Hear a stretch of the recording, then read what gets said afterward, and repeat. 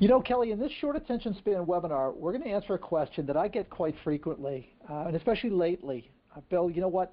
I, I'm looking for a new salesperson, and I really don't have the model, the template in my mind as to exactly what I'm looking for. Mm-hmm. Are, you, are you getting that at all? Are you hearing that at all? I'm I'm believe me, I'm getting yeah, I mean it's one of the probably the lead things I'm getting engaged for now is is helping people find find new sales reps. I I haven't talked to a printer or a finisher Mm. in the last 18 months that hasn't agonized over this. Yeah.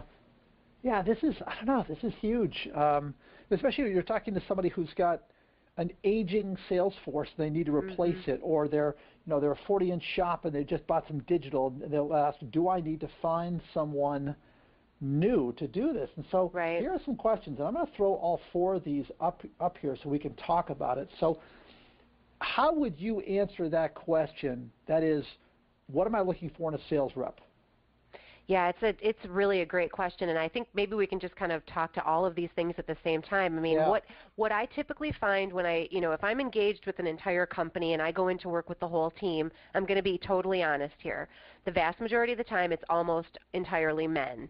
Mm-hmm. And what the owners or the presidents will say is, "Yeah, I'd love to get a female in here just to balance it out a little bit." And I think that's a great idea. But I also don't think that you specifically want to go into a hiring situation looking for one or the other. It's not realistic.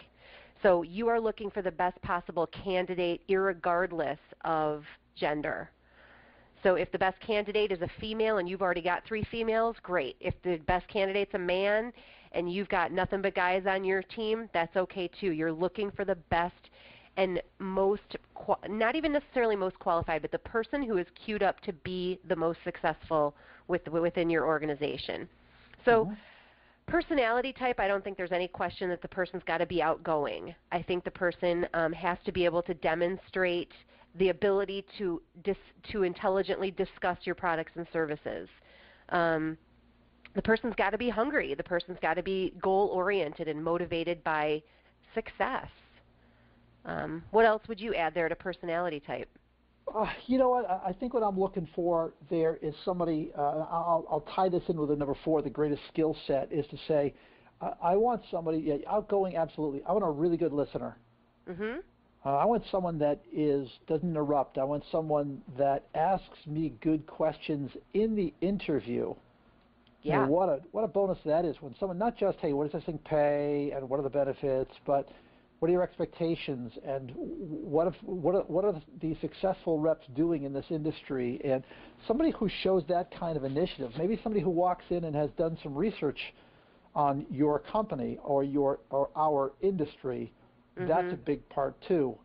Um, let me let me just kind of take this a different direction, Kelly. Uh, how how much of this decision is a gut feeling? Do you think? In oh, so much, so much of it. I mean, there's, it's it's almost all gut because the person, you know, and it- Bill, I honestly think there's probably 20 short attention span webinars in this in this topic and in, around this kind of stuff because it is so complicated. Um, but you know, when you get a more seasoned person, they're going to tell you a bunch of stuff about what they know and what they have in their book of business.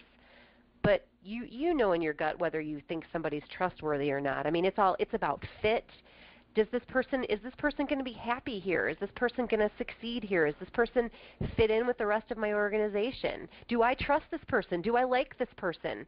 Would i want to sit across this person across the desk from this person and have coffee for 30 minutes? You know those kinds of questions. I mean if you if you can't say no to that stuff then or you can't say yes to that stuff i'd think long and hard about it. For Right. sure. Right. No, no, no question. Um, I I think the other thing is it, it's really going to match, as Kelly says, not just the personality but the territory, in Mhm. terms of exactly what you're looking for. There's, uh, if you're calling on a lot of of uh, one type of person, then it's going to take that kind of person to, um, in, in a sales rep. You know, Kelly, I heard you say, boy, you definitely want outgoing. And yet there's the other side of that. Maybe you don't want somebody who is that outgoing, hey, how's it going, pal? You know, that that over the top. You might want something very someone very stoic, someone that matches the personality type of your target market. mhm So uh, uh, part of it is to to look at the example of what you've got with you so far. Uh, you know, so anyway, there's part of the point is here. I think you have to begin with the end in mind. And the end in mind here is what is my target market, and then work backwards from there. Uh, this is a, a very difficult. It's a very difficult process to go through. So much of this is, you know what? That's the. It's like the right house, right? That's the house. Mm-hmm. That's the guy. That's the woman. That's what I'm looking for. Well, and We- you talk about age too. You know, there's there's there's kind of three distinct kind of areas here. There's there's you know young and green and and no experience. There's people that are kind of in the middle of their career, and then there's the super seasoned, you know, been around the block for and been around forever kind of kind of people.